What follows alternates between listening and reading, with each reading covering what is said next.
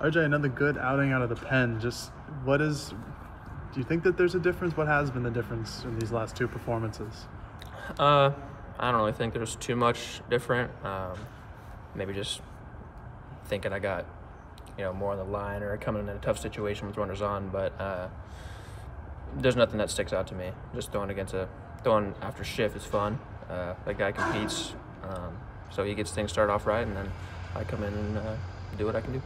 Moss has talked a, a, lot about Shift, just being a competitor, being a leader. Like, what do you see from him on a day-to-day basis? Just makes you makes you guys want to go to war with him. Yeah, uh, no matter what it is, if we're at practice, game, playing wiffle ball, like Was said, uh, he wants to win, um, and that's a guy I want on my team uh, for as long as as long as I can.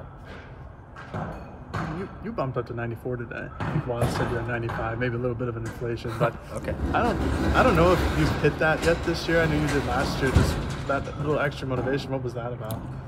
Uh, I just felt like throwing it hard that pitch. I guess. Uh, I, that's really about all I got for you. for you guys to, I mean, they get that run there in the first, and then you guys pour five on in the second. Just how, how nice is it to have an offense that's capable of doing yeah. that really quickly? Yeah. Both of my last outings, I've, I've got to come in and throw uh, after a big inning. Um, and just having run support's nice. It, it, does take a little pressure off. I try not to let it affect me too much. I try and treat it like it's a one-run ball game or tie ball game. Um, but yeah, it's nice having those guys uh, in the lineup every day. Was mentioned that you and Angier have kind of worked with some stuff. I don't, you don't have to get into specifics, but you know, if you can, what have what have you done to try to help? Uh, I think it's just mentality, really. No, mm-hmm. there's nothing really mechanical or anything like that. Just going out there like it's my last outing I'm gonna have all year is really the big thing. Um, uh, whether it's starting or coming out of the pen, it's just you know I gotta treat it like it's my last, not make any game bigger than the next. Uh, just just go day by day and, and treat everything like it's my last outing. Going back to your last outing, you had a, a three pitch inning. Is that the first time you've ever yeah, done that? That was crazy. um, I didn't think that guy was going to swing uh, on the third pitch, so I was just going to throw it down the middle and try and get a free strike. Uh, and he, well, gave me a three pitch inning, so yeah, it was nice.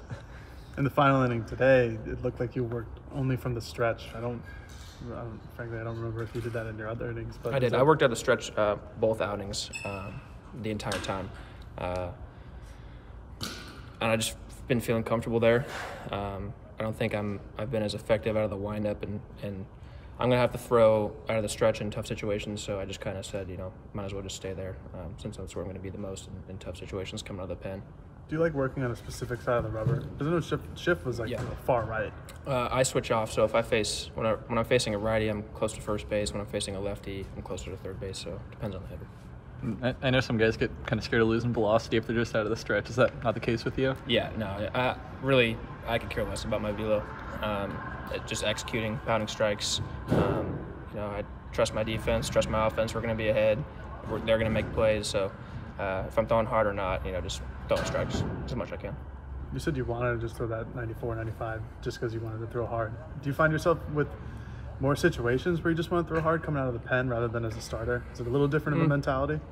Just, I guess it just depends what the scenario is. You know, if there's runners on and I'm ahead 0-2 or something, I'm gonna want to try and blow something by a guy, or uh, it just kind of depends on the situation. But I don't really think there's a difference between the starting and the and the uh, coming out of the pen.